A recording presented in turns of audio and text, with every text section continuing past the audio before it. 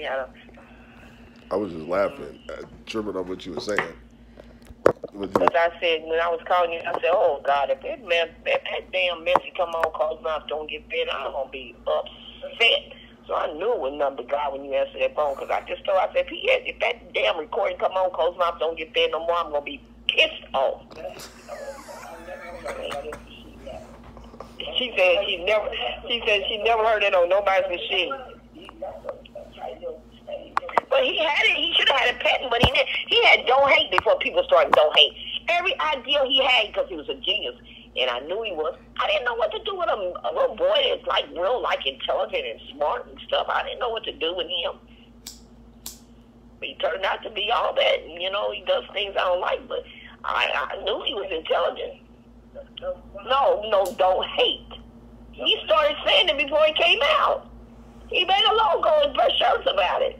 But he never got his stuff patented. So we did a three month sequel with LeBron James and Dwyane Wade and that what's the other man's name in Miami? And that's the motherfucker he should have had patent.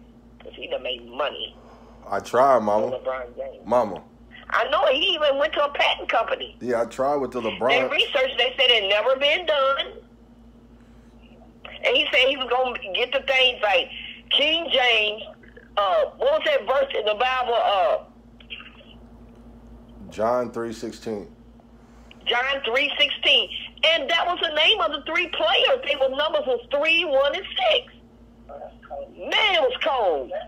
It was LeBron James number, Dwyane, and what was the other man? Chris Bosh. Chris Bosh. You don't even hear no more about it. But that was they three jerseys name. 316. But the Bible verse that my brother was coming off on King James like, oh my God, it was such a great idea. Damn. He only gave his own forgotten son, King James. And King James, LeBron James is the king of the basketball. And he is. His sons are, yeah, they said his sons are all bad. I break. And LeBron James is the one that really first grew the beard that looked looked good to me. But guess what? This guy was on Ellen. He said the beard, if you got a long face or a round face, it'll make your face look different.